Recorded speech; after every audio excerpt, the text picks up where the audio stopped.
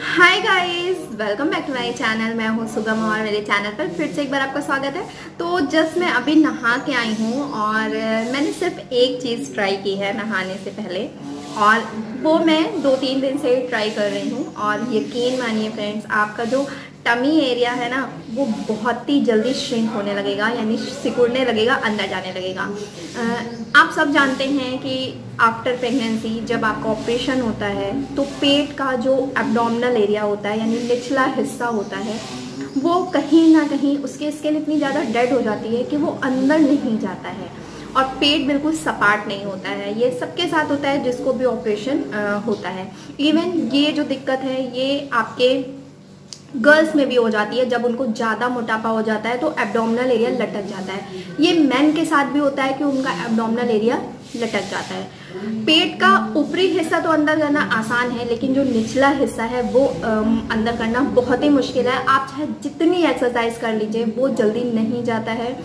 Diet भी करेंगे तो फुल बॉडी से तो फैट चला जाएगा फेस से फैट चला जाएगा, लेकिन पेट से नहीं जाएगा गारंटी के साथ। लेकिन जो चीज़ मैं आज आपको रिकमेंड करने वाली हूँ हंड्रेड परसेंट उसका असर आपको एक हफ़्ते में देखने को मिलेगा।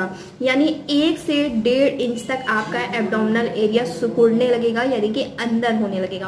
और ये सिर्फ़ आपको नहाने से पहले करना है। वो मैं बताऊँगी क्या करना है, क्योंकि मैं कर रही हूँ इसे और मुझे इसका रिज़ल्ट अमेजिंग मिल रहा है।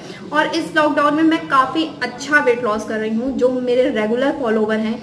उन सबको पता है कि मेरा वेट गेन हो गया था because of festival because of hormonal changes बहुत सारी चीज़ें थी, जिसकी वजह से सिक्स टू सेवन के जी मेरा वेट गेन हो गया था। और मैं एक्सरसाइज नहीं कर पा रही थी, कुछ भी नहीं मतलब इतना ज़्यादा टाइट शेड्यूल की वजह से मैं कुछ भी नहीं कर पा रही थी इवन डाइट भी नहीं कर पाई। डाइट इन द सेंस कि प्रॉपर खाना भी नहीं ले पा रही थी, मेरा थायराइड थोड़ा सा बढ़ गया था। इन सारे कारणों की वजह से मेरा वेट जो है बढ़ गया था। लेकिन इस लॉकडाउन में मैं सही बताऊँ, इतना अच्छा वेट लॉस कर रही हूँ, इतना ज़्यादा पॉजिटिव एनर्जी है मेरे अंदर। देखिए, बहुत सारे लोगों के ऐसा है लॉकडाउन है, क्या करें लॉकडाउन है, क्या करें। आप ये सोचिए कि लॉकडाउन है, मेरे पास अपने को टाइम देने के लिए टाइम है।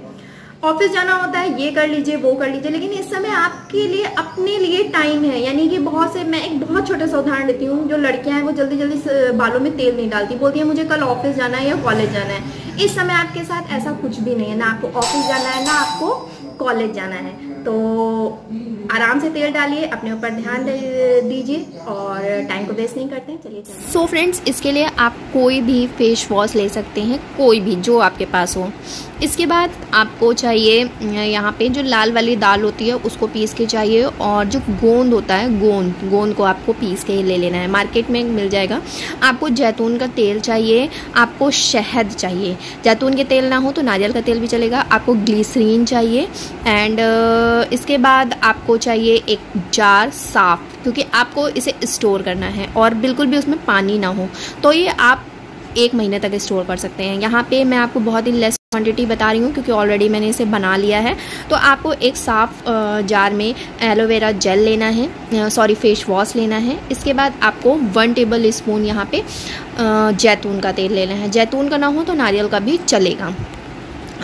इसके बाद आपको इसमें डालना है शहद और शहद भी किसी कंपनी का हो, कोई भी ऐसा नहीं है प्योर हो तो ज़्यादा बेटर है अगर आपके पास। तो वन टेबल स्पून की क्वांटिटी में आपको ये भी ऐड करना है। इसके बाद मैं यहाँ पे ग्लीसरीन लूँगी, और ग्लीसरीन भी आपको वन टेबल स्पून ही चाहिए।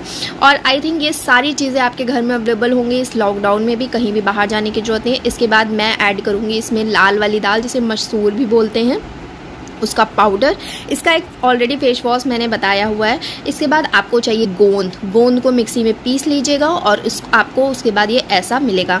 इन सारी चीज़ों को अच्छे से मिला लीजिए और इसके, इसे अपने बाथरूम में रख लीजिए। बाथरूम में नहाने से पहले या नहाते समय इस चीज़ को लेके आपको अपने पेट पे बहुत अच्छे से रब करना है, लगभग फोर मसाज बहुत अच्छे से होगी, जिससे कि जो भी चर्बी उस पेट पे जमा है, वो धीरे धीरे निकलेगी और आपको इसे रेगुलर बेसिस पर करना है। पेट का एरिया बहुत चिकना होगा, पेट पे जो भी फैट जमा है, वो बहुत तेज़ी से निकलेगा और सबसे मैजिक काम इसमें जो गोंद का है, क्योंकि गोंद कहीं ना कहीं वो आपके पेट पे बहुत अच्छे से वर्क करेगा, पेट को सपाट करने में हेल्प करेगा, पेट पे एक लेयर सी बांधेगा, जिससे कि पेट अंदर की तरफ़ दबेगा।